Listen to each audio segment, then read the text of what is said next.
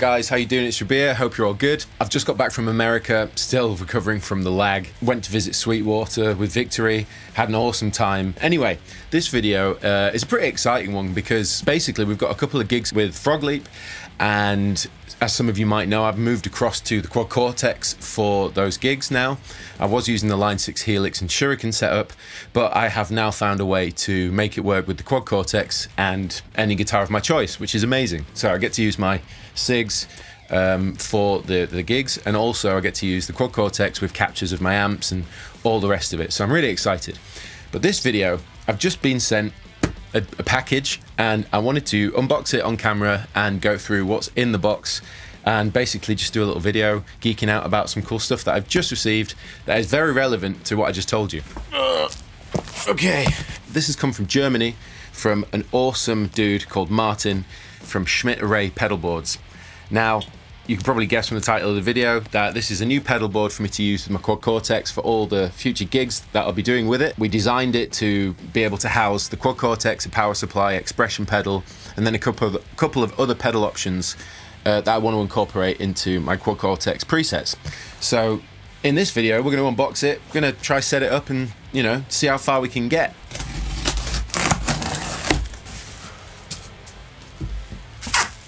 Oh wow. It's seriously wrapped up. God damn it. It's in a flight case, which is great because we will be doing fly gigs and you want to, you, you know, you want your gear to be protected. So that's great. Let's crack back on. Get inside this now. Check it out. Okay, so let's have a look. Yes. Very best to you, Rabea, Martin Schmidt. What a legend absolutely one of the nicest guys I've had the pleasure of meeting through this through this mental whatever you want to call it career that I've had. You know, he's such a nice dude. Made great pedal boards. I know Mick and Dan are huge fans of Schmidt Array, and yeah, what can I say? Absolutely love their stuff. Obviously, the QC is going to sit here, which is nice. Got the expression pedal there, and under the lid, we've got some protective foam. Got a Schmidt Array t-shirt, very cool. We've got all the, what's really nice is they've included the Velcro for the pedals and stuff, which is a very nice thing to do because I have my own, but you know, if you don't have it, it's a bit annoying if you don't have it and you can't start building your pedal board, but they, it's nice they included that. An awesome, awesome feature is the little USB lights these USB lights are rechargeable, so it goes on the pedal board so you can see what you're doing, which is really nice. Yeah, awesome. Let's crack on and start rigging things up. This is the Mission Engineering SP1. It was recommended by uh, Max at Neural uh, as probably the best one to use for the Quad Cortex. They do actually do one in uh, the same color as the Quad Cortex, but they didn't have it available. So yeah, basically SP1. So the first thing I need to do is uh, take the feet off and the cellophane because that's the best bit and then put the uh, velcro on it so it can sit on this raised up area here. As you can see on the board it sits on this raised up area so it's a little bit more accessible when you need to get to it. So that's cool. For all those out there who appreciate this as much as I do let me show you. Oh yeah. That's great. That was probably the most satisfying part so far What's great about the Mission pedals is they have two uh, expression outs, so you can control two pedals simultaneously. So now we need to put the screws back in. Obviously, they would be screwed into the rubber themselves, which is a bit annoying. But we gotta get them out. How am I gonna get those out? A few moments later. Well, not off to the best start. I uh, sheared off, managed to shear off one of the screw heads in the pedal, and also the screws are slightly too long, so you can't just take the feet off and secure it on this particular model. And I also didn't have any other screws that were small enough to do it, so what I've done is taken the Leatherman to the SP1 and sheared off as much of the feet as possible. I bet a lot of you uh, pedalboard uh, OCD guys are probably cringing right now. That's the best I can do. So not only is it lopsided, but it's also uh, missing a foot. In any case, we must press on. Okay, so after that palaver, it's not fully It's as secure as I can as I can get it. I mean, a little bit annoyed about that, but that's my own fault. Next, we're going to put the Quad Cortex on the board. Um, I need to basically take the rubber feet off that I've put on there and just position it in a way. I want to make sure that like it's back far enough and yeah, looks pretty good to me. Okay, so I need to take the rubber feet off and then I need to secure this in place with some Velcro. Just going to do four corner pieces. Don't want to get too mental on the Velcro. Now, even though I've taken off the feet, I need to put the Velcro on. If you're doing this yourself, don't do what I did once did to an old pedal and Velcro over the, you know, the bolts to be able to take the back off. It was a bit of a stupid decision on my part. However, I'm much older and much wiser. So let's get this bad boy stuck down. Quad Cortex is now on the board. The next thing I'm going to be putting on the board is the power supply. I want to give you a quick note on the power supply specifically. So this is the CIOKS, I think that's how you say it, DC7 power supply. Now this is the only recommended power supply to use with the Quad Cortex from Neural DSP themselves. I can see why, because it's it is very advanced for a power supply. Uh, it's quite expensive. This was 250 quid, so it was a bit of a hit. And not only that, you also have to buy separately these adapters. As you can see, you've I've got you've got to buy three of these adapter cables. It bridges the power of those outputs down to one cable that powers the Quad Cortex because it uses almost as much power as a laptop. I mean, it's just the way it is. But it'd be nice if there were more options than a 250 quid power supply. But so I'm going to be mounting the power supply to the underside of the board.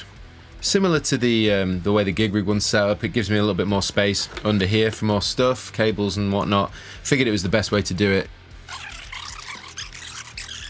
Okay, so Quad Cortex is uh, secured. I've also secured the power supply, uh, routed the, the, all the lines to the uh, little junction box on the side as you can see. I've got in one in two then I've got uh, out three and four so those are the jack outs on the side of Quad Cortex and then I've got a send and return for any pedals I want to put in the loop. Speaking of which I figured at this point now I've got everything sort of set up I could power this on and use it just with Quad Cortex but I wanted to also incorporate a few of the pedals to the board that that have effects and sounds that you can't quite get as easily right now with Quad Cortex. So First pedal I want to put on is my current favourite fuzz. This is the Bender 1973 from JHS. It's an awesome pedal. So I was going to stick that here. Next pedal that I wanted to put on because it's a really unique pedal and I figured it would work pretty well within the realms of Quad Cortex because obviously this thing can do so much already but there are some things it's not doing just yet. So, next up is the Microcosm from Hologram Electronics, which I know that Aaron Intervals actually put that on his touring rig. We were talking about that actually. It seemed like a cool idea because it is the kind of thing you could put in the loop and just patch in every now and again and have a little mess around with it in between songs. So that's a really cool idea. Um, so yeah, so that's next. And last but not least, my personal favorite overdrive pedal uh, that I just seem to never want to leave the house without, and that's the Origin Effects Revival Drive Compact. What's nice is we've got a little, as you can see, a little horizontal space just here so I can stick it sideways. Which again, to some of your pedal OCD, pedal OCD guys will probably be like, no, it has to be facing, but you know, we only got a small amount of space here. Okay, so after a bit of head scratching and rigging things up, I've come to the conclusion that I'm missing one uh, XLR input uh, male XLR panel mounted input on the back. So I've ordered one of those just now. Uh, once I've mounted that, it means that I can run XLRs left and right straight into the back of the board and they're connected straight to the outs on the back of QC. It was a, a mistake on my part not ordering the right connections on the back. But yeah, basically those are ordered, so that's going to be great. Other than that, I've rigged it up so I put my guitar in the side here. We hit the Origin Effects Revival Drive, then we hit the Bender, then we hit the input of input one of the Quad Cortex. Uh, I've rigged up input two if I ever want to use that. I've also rigged up effects loop. There's three and four, so you got sends one and two, sends three and four. So they're mounted to the side here. Um, microcosms in loop one and two, uh, and also I've got outputs, the jack outputs three and four on the side as well. So there's a bunch of different routing options. We've also got MIDI on the other side, but we haven't hooked that up yet. What I wanted to do now is just power it on and check it all works. So while QC's powering on, I'll show you how it's routed under, underneath. Oh, it's just powered up. But as you can see here, we've got the DC7 connected. I'm running these XLRs for now. These are temporary. As you can see, let me just brighten that up. As you can see at the back here, I'm actually running just an XLR cable now. When I get the other adapter, that'll go there. So they run through to here. I'm going to get some new XLRs that are much shorter, easy to connect here. Um, but yeah, basically, Microcosm comes in to one of the effects loops, and then the other effects loop is mounted here. I've also got outputs three and four, and yeah, as I said, inputs one going up there, input two coming to there. And that pretty much works. Okay, so I've just got a preset loaded up.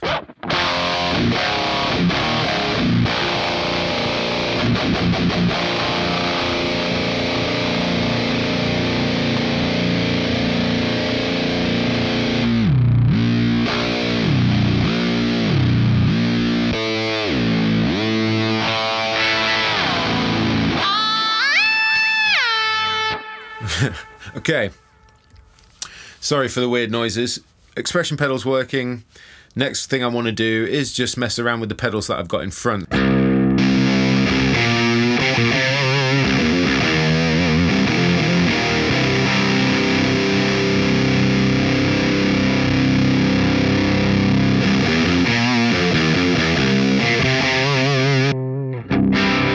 takes pedals so well.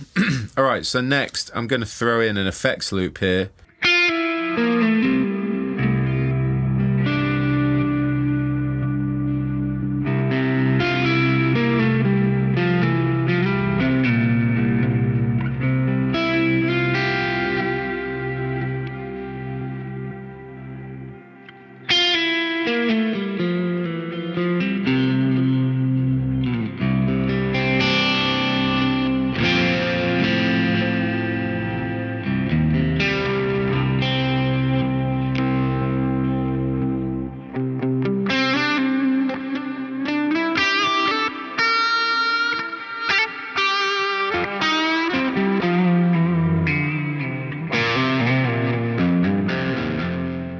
So what I was just managed to set up there was an M0 capture I made, put the effects loop in in the middle between the cab, uh, and then I was running a reverb and delay, well delay and then the reverb, and you also heard with the revival drive in front, feels and sounds immense. So I thought what I'd do now is just chuck on an expression pedal, um, yeah, give it a go. So let's see what happens.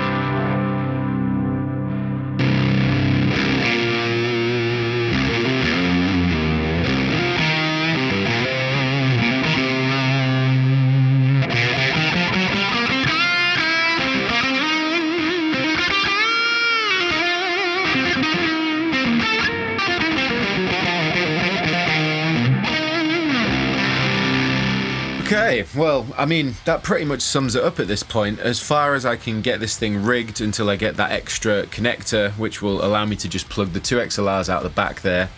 But everything's rigged up now. The two pedals that I've chosen, I feel at the minute, are working really well, you know, and this is fun in the loop.